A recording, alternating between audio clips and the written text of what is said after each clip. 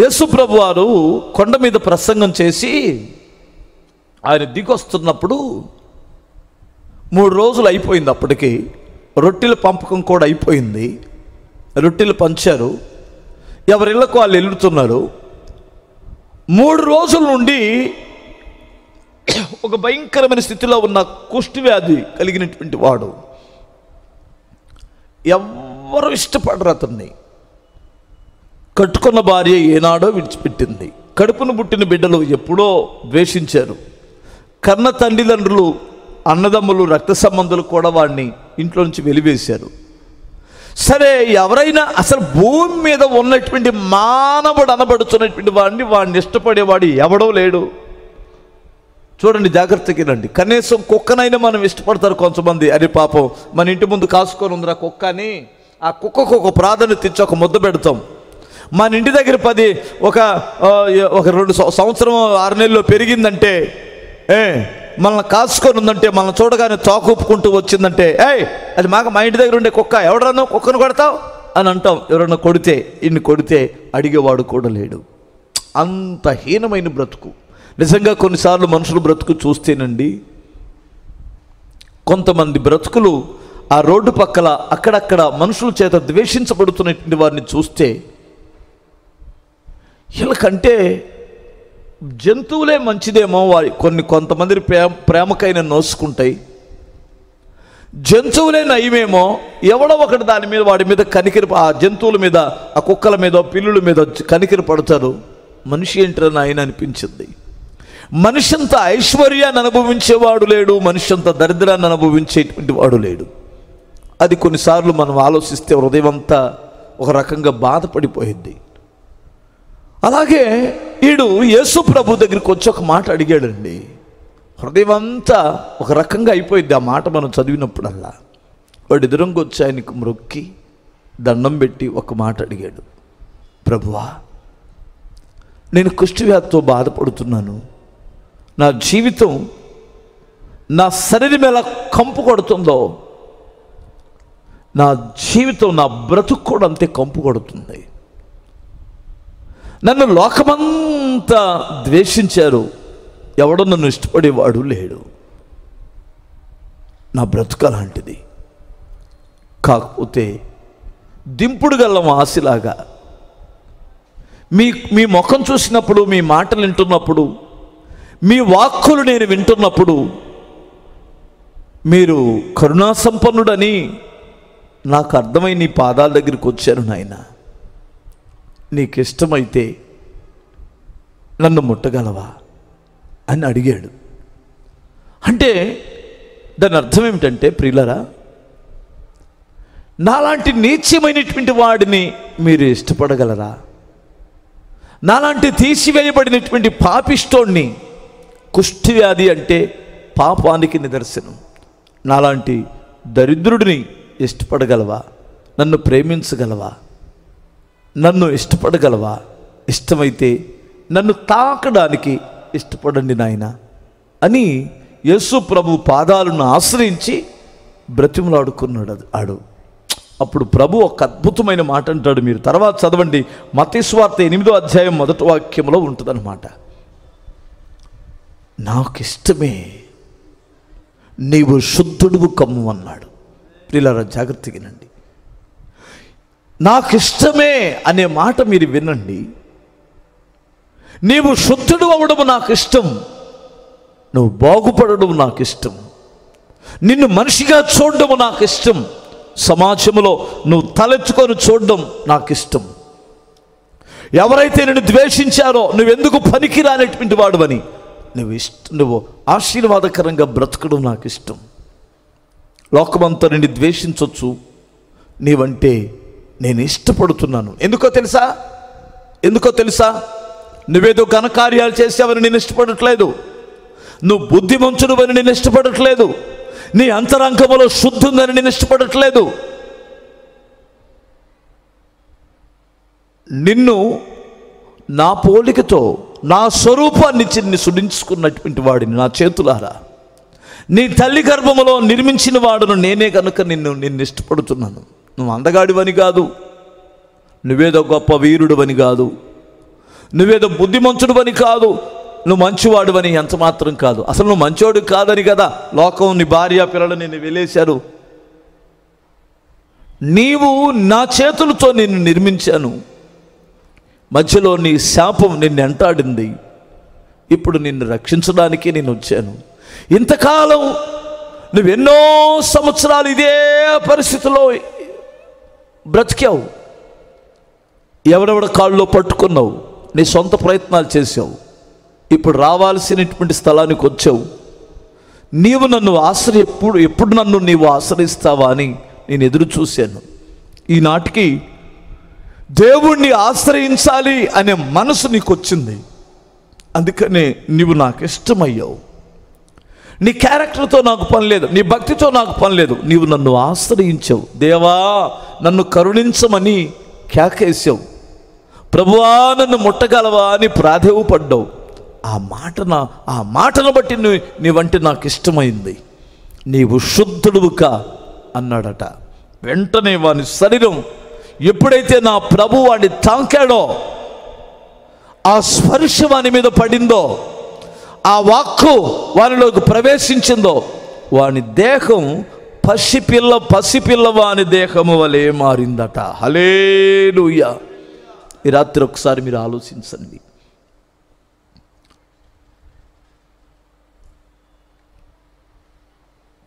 పాపపు కుష్టుతో ఎవరుంటున్నారో నాకు తెలియదు ఒకవేళ ఇంటే ప్రభా నా వాళ్ళు నన్ను అసహించుకుంటున్నారు. కుష్ఠవ్యాధి కలిగినటువంటి వాడిని ఎంత అసహించుకుంటారో ఒక పాపములో బాగా ముదిరిపోయినటువంటి వాడిని కూడా సమాజం లోకం అలాగే అసహించుకుంటుంది. వాడికి ఇలువ ఉండదు. కొన్నిసార్లు మన భార్య పిల్లలకు కూడా మనం ఎగటేస్తాం. మన మీద చేదలు పెట్టుకుంటాడు. ఇది ఎప్పుడు తెస్తాడరా బాబు అనిపించింది. పొద్దుగూకులు మందు దాగొచ్చి ఊగుతూ తూగుతూ బూతులు మాట్లాడుతుంటే ఈడు ఎన్నడ తెస్తాడు అని భార్య కూడా కోరుకుంటుంది. ఎందాకని? ఇప్పుడు ఒళ్ళు హోనం చేస్తాడు తాగొచ్చి వీడు చస్తే బాగుండు అనిపించ అనిపించింది కొంతమంది డ్రగ్స్కి అలవాటు పడి యవనస్తులు చిన్న చిన్న పిల్లలు. ఏమండి? అదేదో ఆ గుడ్డలో ఏదో వేసుకొని వాసన చూస్తారంట. వాడు మత్సుగా ఉంటాడు. పగలంతా ఒక రకంగా ఉంటాడు. అమ్మస్తున్నా ఇలా చూస్తాడు. చెల్లెలు వస్తున్నా ఇలా చూస్తాడు? వాడు అసలు వాడు మన మైండ్లో ఉండడాడు అందరిలాగా నేను కన్నాను కదా నాయన?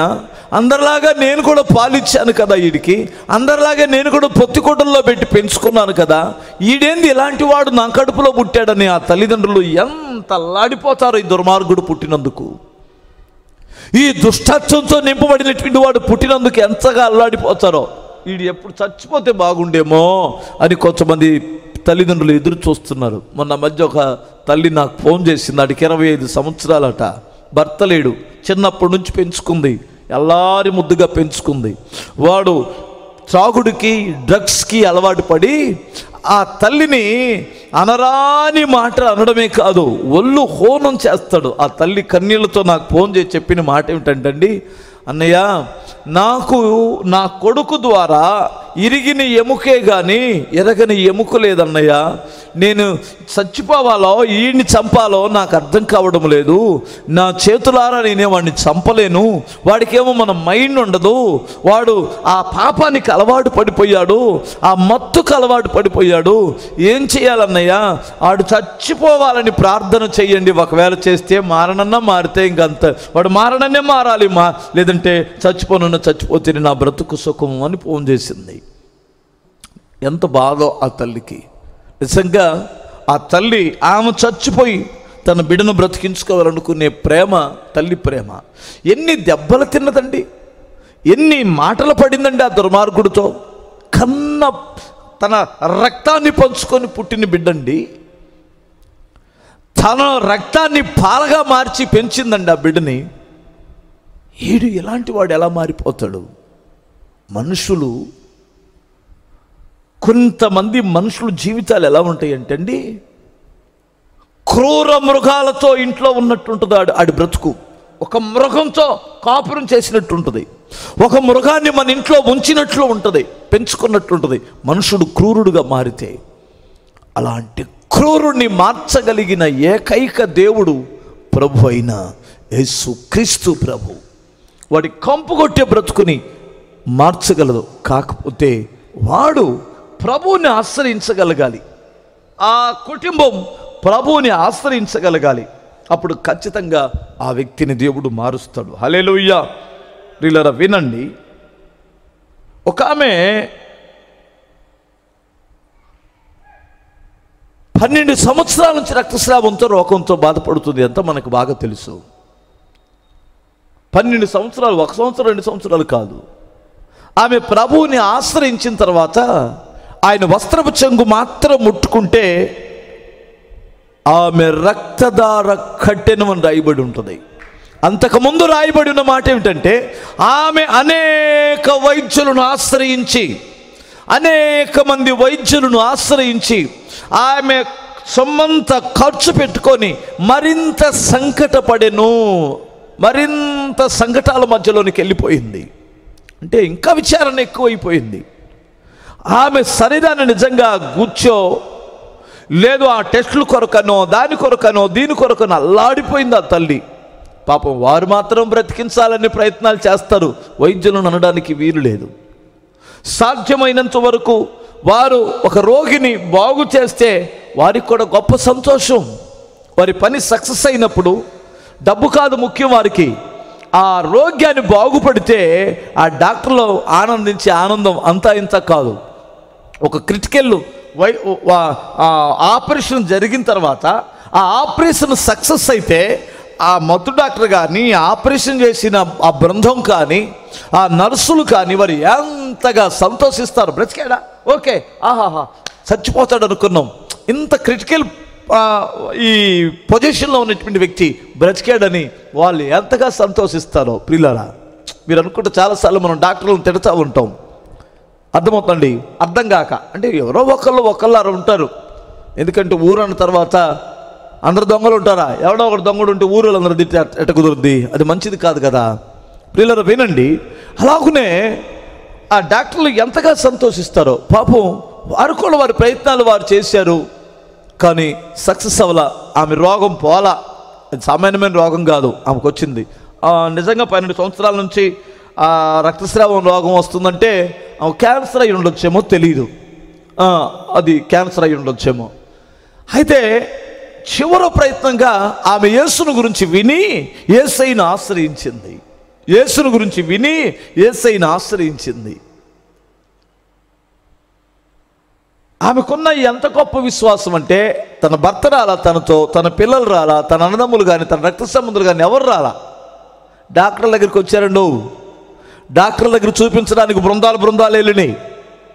కానీ ఏసై దగ్గరికి వెళ్ళడానికి మాత్రం ఎవరు తీసుకురాలా? విచిత్రం ఏంటో తెలియదు మనుషుల్లో ఉన్న బుద్ధి. మీకు కూడా చాలాసార్లు మీ బాధలో ఉన్నప్పుడు కష్టాల్లో ఉన్నప్పుడు ఎవరో యేసు ప్రభుని గురించి చెబితే ఏమండి నాకు ఒక కోరిక ఉందండి. అక్క నాకు కోరిక ఉంది అమ్మ నా కోరిక ఉంది. చర్చికి తీసుకెళ్ళండి. ఆ మహానుభావుడు ప్రభు అయిన యేసుక్రీస్తు దగ్గరికి ఎంతోమంది వెళ్ళి బాగుపడుతున్నారు. ఆయన సన్నిధికి తీసుకెళ్ళండి. ఆయన సేవకుల దగ్గరికి నన్ను తీసుకెళ్ళండి అంటే నోరుమోయ్ ఇంక అన్నీ అయిపోయినాయి. అది ఉందా? యేసు ప్రభు అందులో దిగిపోతావా? అని వారిని కృంగదీస్తున్నటువంటి వారు ఉన్నారు. ఎంతమంది డాక్టర్ల దగ్గరికైనా తీసుకెళ్తారు.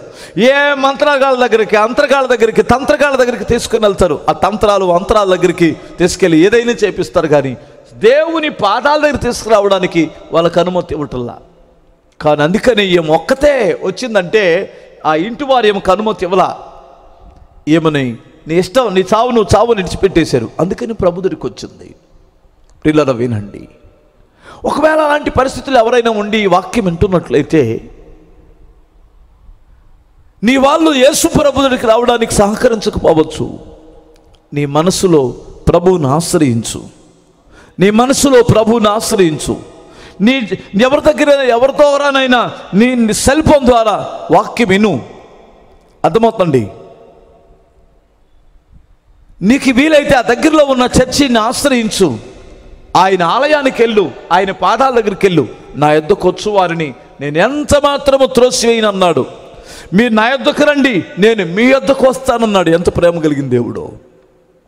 అప్పుడు ఆమె ఆశ్రయించిన తర్వాత ఆమె రక్తదార కట్టడమే కాదండి. ఆమెను ప్రభు ఏమన్నాడు తెలుసండి? కుమారి అన్నాడు. ఆమెను ఒక బిడ్డగా స్వీకరించాడండి. తనను ఎందరు అంగీకరిస్తారో వారందరికి దేవుని కుమారులగుటకు అధికారం ఇస్తానన్నాడు ఆశ్రయించిన ఆమెకు మేలు జరగటమే కాదు. ఏసైని ఆశ్రయించినటువంటి ఆమెకు మేలు జరగటమే కాదండి. కుమార్తెగా స్వీకరించాడు నా తండ్రి. కుమార్తెగా స్వీకరించాడంటే వారసత్వం ఇచ్చాడని అర్థం. కుమారి అని పిలిచాడు. మీరు తర్వాత మీరు తర్వాత చూడండి. హలెలుయ్య బిగ్గరగా స్తోత్రం చెప్పగలరా? మార్క్స్ వార్త ఐదు అధ్యాయంలో ఆమె దొరికింది ఐదు ముప్పై నాలుగు. ఓకే తర్వాత చదవండి. ఓకే హలెలుయ్య కుమారి కుమారి నువ్వు నీ విశ్వాసాన్ని స్వస్థపరిచింది నువ్వు సమాధానము గలదానివి ఇల్లు అన్నాడు. ఏసై దగ్గరికి వస్తే స్వస్థత దొరికింది. కుమార్ కుమారత్వం దొరికింది సమాధానము దొరికింది. తన జీవితానికి ఎన్నో ప్రశ్నార్థకంగా ఉండే తన బ్రతుకు. అసలు బ్రతుకుతానా లేదా? బ్రతుకుతానా లేదా? చచ్చిపోతానేమో. కాదు.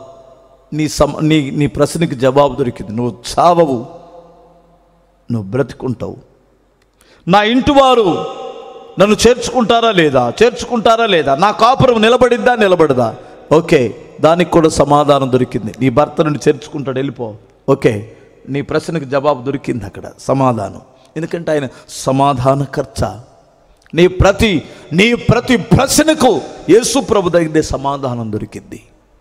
ఆమె ఆశ్రయించి సమాధానముతో సంతోషముతో గంతులు వేస్తూ తన ఇంటికి తిరిగి వెళ్ళిపోయిందట. ప్రిల్లర ఒకసారి మీరు ఆలోచించండి. ఎందుకు మనం దేవుణ్ణి ఆశ్రయించలేకపోతున్నాం? ఎంతకాలం అప్పుల్లో నలిగిపోతావు. ఎంతకాలము సమాధానం లేక నలిగిపోతావు? ఎంతకాలం ఎంతకాలం ఇలాంటి కష్టాల్లో ఉంటావు? కులం అడ్డం వస్తుందా? మతం అడ్డం వస్తుందా? నీ మతం నిన్ను నిన్- నిన్ను రక్షించగలదా? నీ కులము నీకు కూడి పెట్టగలదా? నా ప్రభు భూమి ఆకాశమును కలుగు చేసిన దేవుడు తల్లి గర్భములో ఉన్నప్పుడు ఒక రక్తపు చుక్కకి నీకు గొప్ప జీవాన్నిచ్చి నీకు నీకు పోలికనిచ్చి నీ స్థితిగతులు ఇచ్చినటువంటి దేవుడు ఆయనే నీ కొరకు ప్రాణం పెట్టి తిరిగి లేచిన ప్రేమ కలిగిన దేవుణ్ణి నువ్వు ఆశ్రయించగలిగితే నీకు ఏమేలు కొదువై ఉండదని లేఖనం సెలవిస్తుంది. హలేలోయ్య